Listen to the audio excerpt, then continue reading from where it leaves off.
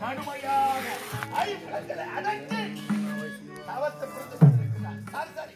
நாம் செல்வோம்.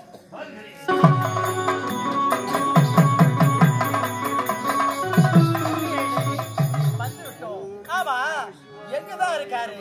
ஏதோ ஒரு குரல் கேட்கிறது. அருகாமையில் சென்று பார்ப்போம். அடே, குரல் கொடுத்து பார்ப்போம். என்னங்க?